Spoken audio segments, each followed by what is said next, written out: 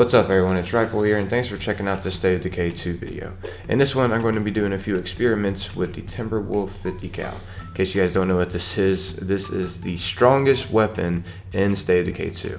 Now it may not be the best in certain scenarios, but this is definitely the strongest by far.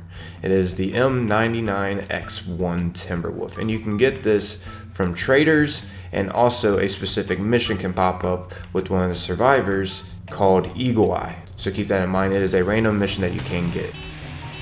Anybody ever read that book about Eagle Eye, the army sniper in Afghanistan?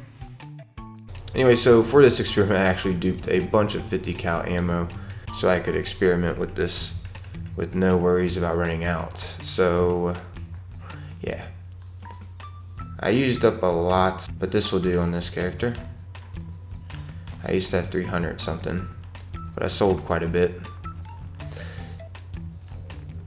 Let's see. Ooh, there's a Feral out here. So, I guess first let's test how many shots the Feral takes. The Timberwolf. Oh, one shot. Okay. Um, well, that went well. So one shot for the Feral. Let's find a freaking Juggernaut. Oh, well, this is definitely going to take one shot. I'm going to take out that Screamer first. Ooh, two for one. Ooh. It can go straight through them both. Well, of course that's going to take one shot. Really? Get off my back, huh? Um, let me use something else to pop this thing.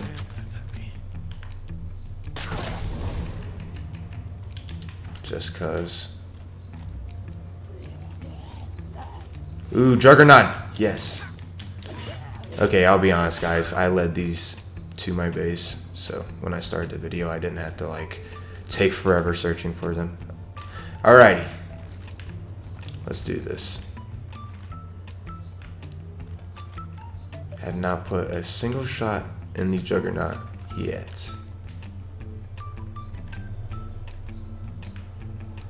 One, two, three, four, and he's down. And it takes one shot when he's down like that. So it seems like it takes five shots. It may be possible for it to take less, but from my experience of taking out Juggernauts, it has taken five. Except for this one at the base, this one actually took four, but I think I had a little bit of help with my teammates to take a little bit of damage off of them. So that's the reason why it took four instead of five. Still pretty cool. Oh yeah, and by the way, if you guys want me to try any other experiments out in State of Decay 2, please feel free to throw them down in the comments. The more ideas, the better. And keep in mind, I can dupe items. So maybe you want to see a lot of items in action at once. I don't know what your idea is, but feel free to write it down and leave it in the comments. I'll definitely be reading the comments and checking out some of your guys' ideas. Oh, wait, I forgot. Let's go take on a Plague Heart with this 50 cal. Let's see how many shots it takes. One, two, three. Nice. Now I'm out of here. But yeah, I guess that's our wrapping up this video, everybody. For those of you that actually got to the end of the video, I wanted to let you all know that I am doing a console giveaway on my channel.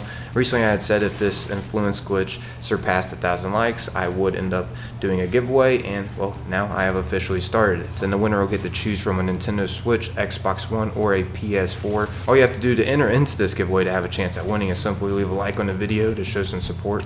That's basically like a thank you for me giving something like this away. And also subscribe and click that bell if you haven't to stay notified with my uploads. And lastly, but certainly not least, just comment something down below. For instance, maybe an experiment that I can do in State of Decay 2. I'm out of here though, everybody. Thanks for taking the time to watch and listen.